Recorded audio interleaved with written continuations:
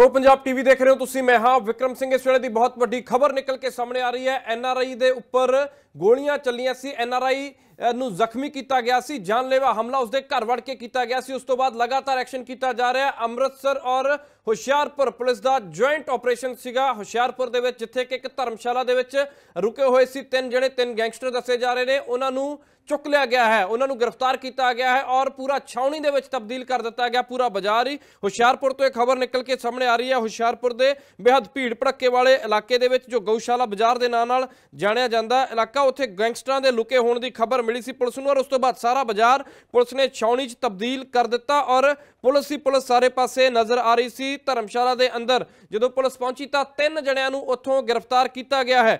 ਤਿੰਨ ਜਣਿਆਂ ਨੂੰ ਪੁਲਿਸ ਨੇ ਚੁੱਕ ਲਿਆ ਹੈ। ਉਹਨਾਂ ਤੋਂ ਪੁੱਛਗਿੱਛ ਕੀਤੀ ਜਾ ਰਹੀ ਹੈ। ਅੰਮ੍ਰਿਤਸਰ ਪੁਲਿਸ ਇਹਨਾਂ ਨੂੰ ਲੈ ਕੇ ਹੁਸ਼ਿਆਰਪੁਰ ਤੋਂ ਨਿਕਲ ਚੁੱਕੀ ਹੈ ਔਰ ਤਿੰਨ ਜਣੇ ਇਹ ਗ੍ਰਿਫਤਾਰ ਹੋਏ ਦੱਸੇ ਜਾ ਰਹੇ ਨੇ। ਤੁਹਾਨੂੰ ਯਾਦ ਹੋਏਗਾ ਕਿ ਅ, ਅੰਮ੍ਰਿਤਸਰ ਦੇ ਇੱਕ ਐਨਆਰਆਈ ਦੇ ਵਿੱਚ, ਦੇ ਉੱਪਰ ਘਰ ਵੜ ਕੇ ਹਮਲਾ ਕੀਤਾ ਗਿਆ ਸੀ, ਗੋਲੀਆਂ ਚਲਾਈਆਂ ਗਈਆਂ ਸੀ ਉਸ ਦੇ ਉੱਪਰ ਔਰ ਉਸ ਤੋਂ ਬਾਅਦ ਲਗਾਤਾਰ ਐਕਸ਼ਨ ਦੇ ਵਿੱਚ ਹੈ ਪੁਲਿਸ ਦੋ ਜਣਿਆਂ ਦੀ ਲਗਾਤਾਰ ਭਾਲ ਕੀਤੀ ਜਾ ਰਹੀ ਹੈ, ਜਿਹੜੇ ਹਮਲਾਵਰ ਸੀਗੇ, ਜਿਨ੍ਹਾਂ ਨੇ ਹਮਲਾ ਕੀਤਾ ਸੀਗਾ ਤਾਂ ਇਹ ਧਰਮਸ਼ਾਲਾ ਹੈ, ਇਸ ਧਰਮਸ਼ਾਲਾ ਦੇ ਅੰਦਰ ਤਿੰਨ ਜਣੇ ਰੁਕੇ ਹੋਏ ਸੀ, ਜਿਨ੍ਹਾਂ ਨੂੰ ਗ੍ਰਿਫਤਾਰ ਕੀਤਾ ਗਿਆ ਹੈ, ਤਿੰਨ ਜਣਿਆਂ ਨੂੰ ਗ੍ਰਿਫਤਾਰ ਕਰਨ ਦੀ ਖਬਰ ਨਿਕਲ ਕੇ ਸਾਹਮਣੇ ਆ ਰਹੀ ਹੈ, ਤਾਂ ਪਰ ਪੂਰਾ ਇਲਾਕਾ ਜਿਹੜਾ ਦੇਖ ਸਕਦੇ ਹੋ ਤੁਸੀਂ ਕਿ ਕਿਸ ਤਰੀਕੇ ਦੇ ਨਾਲ ਸਕਾਰਪੀਓ ਤੇ ਫੋਰਚੂਨਰ ਗੱਡੀਆਂ ਜੋ ਪੁਲਿਸ ਦੀਆਂ ਨੇ, ਇਹਨਾਂ ਦੇ ਨਾਲ ਪੂਰਾ ਇਲਾਕਾ ਜਿਹੜਾ ਉਹ ਜਾਮ ਹੋ ਗਿਆ ਔਰ ਛਾਉਣੀ ਦੇ ਵਿੱਚ ਤਬਦੀਲ ਕਰ ਦਿੱਤਾ ਗਿਆ ਪੂਰਾ ਇਲਾਕਾ ਕਿਉਂਕਿ ਇਹ ਸੀਗਾ ਪੁਲਿਸ ਨੂੰ ਕਿ ਹੋ ਸਕਦਾ ਕਿ ਉਹਨਾਂ ਦੇ ਕੋਲ ਕੋਈ ਵੈਪਨ ਹੋਣ ਔਰ ਇਸ ਕਰਕੇ ਹਥਿਆਰਬੰਦ ਪੁਲਿਸ ਦੇ ਜਵਾਨ ਜੋ ਨੇ ਉਹ ਮੁਸਤੈਦ ਸੀਗੇ। ਇਹ ਹੋ ਸਕਦਾ ਸੀਗਾ ਕਿ ਸਾਹਮਣੇ ਫਾਇਰਿੰਗ ਹੋ ਜਾਵੇ। ਇਸ ਨੂੰ ਲੈ ਕੇ ਅ, ਲਗਾਤਾਰ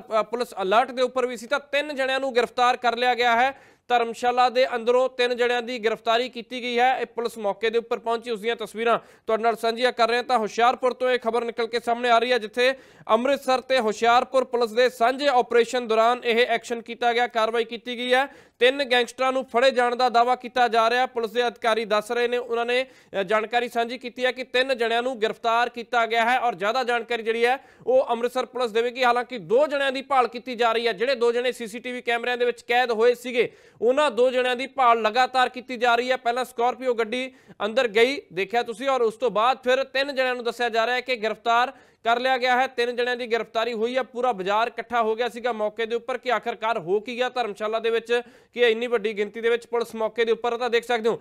ਅੰਦਰ ਲੈ ਕੇ ਗਏ ਸਕਾਰਪੀਓ ਗੱਡੀ ਨੂੰ ਔਰ ਅੰਦਰੋਂ ਹੀ ਤਿੰਨ ਜਣਿਆਂ ਨੂੰ ਬਿਠਾ ਕੇ ਬਾਹਰ ਲਿਆਂਦਾ ਜਾ ਰਿਹਾ ਪੁਲਿਸ ਦੀ ਅ, ਪਹਿਰੇਦਾਰੀ ਦੇ ਅੰਦਰ ਪੁਲਿਸ ਦਾ ਪੂਰਾ ਪਹਿਰਾ ਸੀਗਾ। ਸਾਰੇ ਪਾਸੇ ਤਾਂ ਅੰਮ੍ਰਿਤਸਰ ਪੁਲਿਸ ਔਰ ਹੁਸ਼ਿਆਰਪੁਰ ਪੁਲਿਸ ਦਾ ਜੁਆਇੰਟ ਆਪਰੇਸ਼ਨ ਸੀ। ਪੁਲਿਸ ਨੂੰ ਜਾਣਕਾਰੀ ਮਿਲੀ ਸੀ ਸੂ ਮਿਲੀ ਸੀ ਪੁਲਿਸ ਨੂੰ ਕਿ ਇੱਥੇ ਤਿੰਨ ਜਣੇ ਰੁਕੇ ਹੋਏ ਆ। ਤਾਂ ਜਾਲੀਆਂ ਲੱਗੀਆਂ ਹੋਈਆਂ ਪੂਰਾ ਕਵਰ ਸੀਗੀਆਂ ਗੱਡੀਆਂ ਸਕਾਰਪੀਓ ਗੱਡੀ ਦੇ ਅੰਦਰ ਬਿਠਾ ਕੇ ਇਹਨਾਂ ਨੂੰ ਲਿਜਾਇਆ ਗਿਆ ਹੈ। ਤਾਂ ਹੁਸ਼ਿਆਰਪੁਰ ਦੀ ਇੱਕ ਧਰਮਸ਼ਾਲਾ 'ਚ ਅਚਾਨਕ ਪੁਲਿਸ ਨੇ ਰੇਡ ਕੀਤੀ ਅਚਾਨਕ ਪੁਲਿਸ ਪਹੁੰਚੀ। ਕੀ ਕਹਿ ਰਹੇ ਨੇ ਪੁਲਿਸ ਅਧਿਕਾਰੀ ਉਹ ਵੀ ਸੁਣਾਉਂਦੇ ਆ ਤਾਂ ਸਿੱਧਾ ਮੌਕੇ ਦੀ ਵੀਡੀਓ ਤੇ ਲੈ ਚੱਲ ਸਰ ਕਿਹੜੇ ਸੀਗੇ ਗੈਂਗਸਟਰ ਇਹ ਅੰਮ੍ਰਿਤਸਰ ਜਿਹੜੀ ਵਾਰਦਾਤ ਹੋਈ ਸੀਗੀ ਉਹਦੇ ਰਿਲੇਟਡ ਕੁਝ ਕੁਛ ਲਈ ਅੰਮ੍ਰਿਤਸਰ ਵਾਲੀ ਟੀਮ ਆਈ ਸੀ ਸਾਡੀ ਹੈਲਪ ਲਈ। ਉਹਨਾਂ ਨੇ ਸਾਨੂੰ ਕਿਹਾ ਸੀਗਾ।